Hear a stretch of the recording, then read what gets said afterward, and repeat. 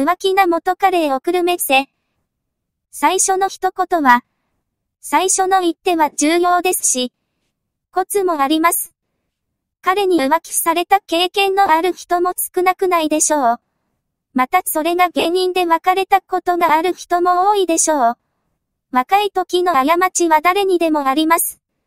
もちろん浮気はダメですが、男は子孫の繁栄が生きる目的ですから、仕方のない部分でもあります。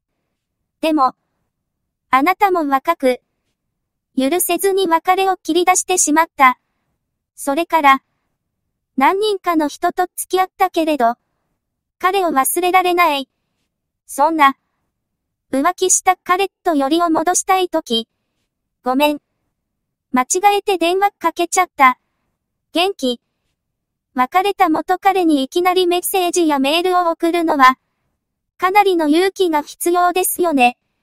よもや、電話で話し、すのはさらに。でも、ワン切りしつつ、間違えてごめんね。ぐらいのメッセージなら送れるはずです。ありがたいことに、今はアンドロイドを筆頭に押し間違えしやすい機種が溢れています。機種変更してどうとか、タッチパネルに触れてとか、いくらでも言い訳ができますね。ここは、元気、ぐらいで止めておきましょう。あまり饒舌すぎるのは禁物です。ただし、送ったメッセに対して、何らかの返信があれば閉めたもの。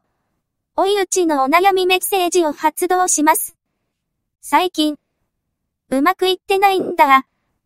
女子からのお悩みメッセに食いつかない男性はいません。女子が悩んでいる姿を見せれば助けたくなるのもまた、男の本能です。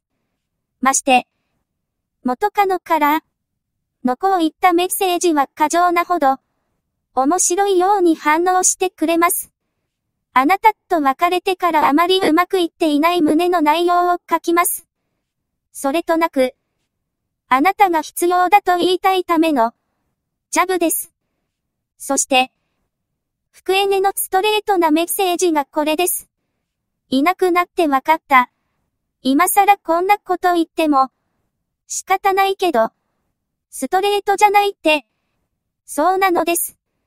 あくまで、あなたから、復縁したいと言ってはいけません。相手に復縁したいと言わせるのが目的です。理由は、やはり人の本能にあります。人は、しつこく言い寄られれば言い寄られるほど、なぜか引いてしまいます。むしろ種に入らないものを手に入れたいのです。だから、あ、得て、じらす。復縁の言いたい気持ちは抑えてください。やり直そうよ。この言葉は男の方から言わせるよう仕向けるのです。別れた理由があなたにあるならば、上記のテクニックが当てはまらない例外があります。彼の浮気や裏切りが原因ではなく、別れた原因があなたにある場合は、小手先のテクニックよりも、まず謝罪することです。ひたすら謝ってください。復縁よりも謝罪の気持ちで書くべきです。突然。ごめん。どうしても謝りたくて。突然のメッセージをまず謝って。その上で謝罪する意思を伝えます。相手から来るメッセージの内容によりますが、その次に伝えるべきことは、真摯な姿勢です。あれからずっと、後悔してた。怖かった。けど、あなたに謝らないと、いけないと思って、自分の過ちを後悔の言葉に集約します。怖かったけど、を添えて、勇気を振り絞って書いているメッセージだと相手に伝えましょう。あなたに謝らないと、で謝罪する真摯な気持ちをアピールできます。もし、手応えがあるメッセージが返ってきたら、どうしますか？そこで一気に復縁提案に行くと思います。しかし、あなたに非がある場合の復縁は、許してもらおうと思ってはいけません。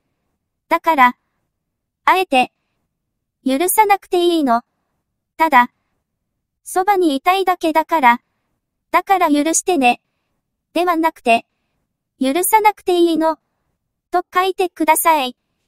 相手に、そこまで言わなくても、と思わせるのが目的です。ただ、そばにいたい。この言葉に心の動かない男はいません。復縁というシチュエーションは初めての告白とは決定的なところが違います。だから、謝ったから、また私を好きになってほしい。とぐいぐい迫るのではなく、決断は相手に委ねた方が良いのです。ただし、手応えのあるメッセージが返ってきた場合にのみ使えるメッセです。